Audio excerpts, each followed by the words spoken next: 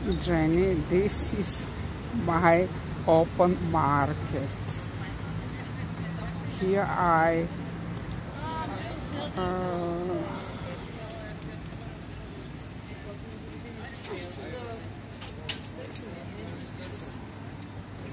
I sell my amigurumis and slippers.